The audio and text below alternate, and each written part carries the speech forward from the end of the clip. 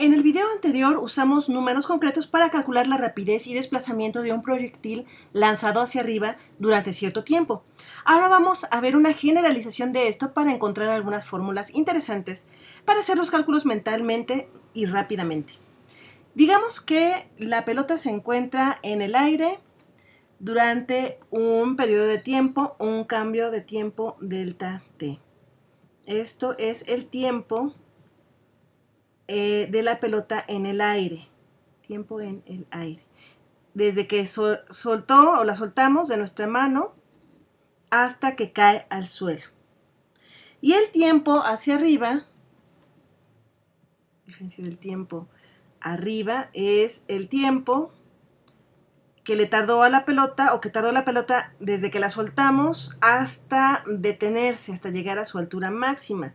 Y este tiempo hacia arriba va a ser igual a el tiempo en el aire dividido entre 2. La mitad de este periodo, como les digo, asumiendo que eh, no tenemos ninguna resistencia al aire. Entonces, bueno, tenemos estas, definidos estos elementos. ¿Cuál va a ser nuestra velocidad inicial?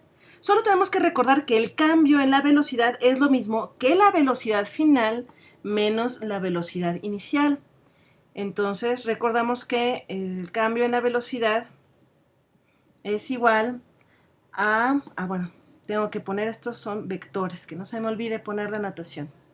Es igual a em, la velocidad final, vamos a ponerla en los colores, velocidad final menos la velocidad inicial.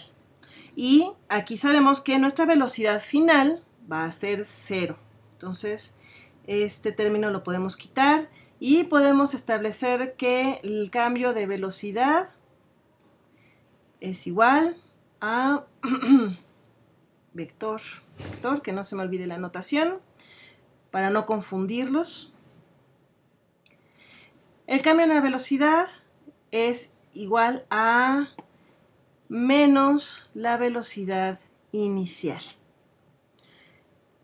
Entonces, también tenemos que, eh, si sabemos eh, de la fórmula de la aceleración, y tenemos que la aceleración va a ser constante porque estamos trabajando con eh, la gravedad terrestre, que esta no cambia, esta velocidad inicial va a ser igual a menos, bueno, a la aceleración que le estamos poniendo como menos 9.8 metros sobre segundo al cuadrado y esto multiplicado por el cambio del periodo entre 2. Simplificamos esto. Esto es igual a 9.8 entre 2 esto es igual a 4.9 metros sobre segundo al cuadrado por la diferencia en el tiempo, el cambio en el periodo, delta t.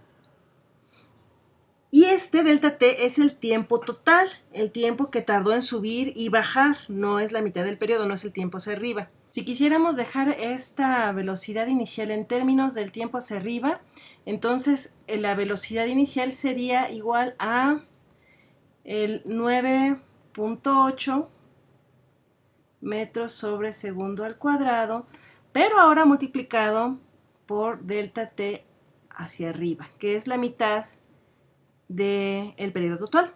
Entonces, bueno, así es como podríamos tener eh, la fórmula en este otro término.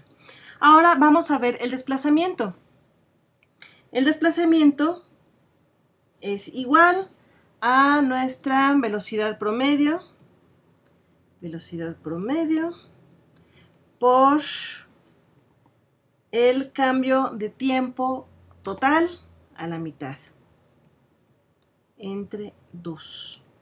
Y recordamos que esto, o bueno, esto también lo podemos poner como si fuera el tiempo hacia arriba. Es lo mismo, delta t arriba. Aquí vemos, delta t arriba es la mitad de delta t del tiempo completo. Y también sabemos que nuestra velocidad promedio Nuevamente hago hincapié en que si estamos en un, trabajando con aceleración constante, es cuando podemos hacer esta, asumir esto o usar esta fórmula. La velocidad promedio va a ser igual a la velocidad final más la velocidad inicial entre 2. Entre 2. De nuevo, mi velocidad final es 0. Entonces, mi velocidad promedio va a ser igual a menos mi velocidad inicial entre 2. Entre 2. Me acabo de dar cuenta que tengo un error tremendo aquí. Es la suma de las dos velocidades. Velocidad final más velocidad inicial. Entonces esto no es menos, es un más. O sea, es la velocidad inicial entre dos. Bueno, entonces tengo que, aquí yo ya había calculado mi velocidad inicial en, en estos términos. Este es un S al cuadrado. Entonces voy a sustituir esta fórmula como en esta parte de la velocidad promedio en esta, perdón, la velocidad, sí, en la fórmula de la velocidad promedio. Entonces quedamos que es igual a la, mi velocidad inicial, que aquí mi velocidad inicial fue de 4.9 metros sobre segundo al cuadrado, multiplicado por el periodo de tiempo que estuvo en el aire, total mi pelota, y todo esto lo voy a dividir entre 2. Y así queda mi fórmula de la velocidad promedio. Ahora esta fórmula que acabamos de eh, derivar la vamos a sustituir aquí en la velocidad promedio, en la fórmula del desplazamiento. Mi desplazamiento va a quedar igual a la velocidad promedio, que fue 4.9 metros sobre segundo al cuadrado. Eh, la delta t fueron cinco, no, perdón, no, todavía no las voy a sustituir, por el cambio en el tiempo, delta t, por, bueno, esto entre 2, que es mi velocidad promedio, multiplicado por delta t entre 2, que es esta parte. Entonces vamos a simplificar esta fórmula y esto nos queda 4.2 por 2, 4. Entonces aquí abajo nos va a quedar un 4. Eh, nos queda aquí arriba 4.9 metros sobre segundo al cuadrado. Y delta t por delta t nos queda delta t al cuadrado. Simplificamos este 4 con este, nos queda 1 y el desplazamiento nos va a resultar en 1. bueno, dividimos 4.9 entre 4, no es que se anule. 4.9 entre 4, vamos a calcular cuánto es. 4.9 entre 4. 1.225. 225 por el periodo de tiempo al cuadrado. Y esta es el desplazamiento máximo. ¿Qué tanto, hasta qué distancia llegó la pelota? El desplazamiento máximo de la pelota hacia arriba. 1.225 punto.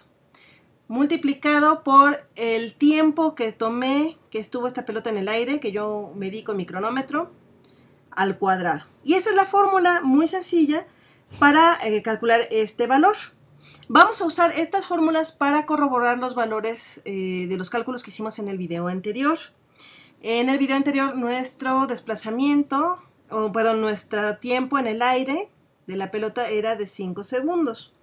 Entonces, eh, la velocidad inicial venía siendo 4.9 por el periodo total entonces mi velocidad inicial, en este caso, 4.9 por 5.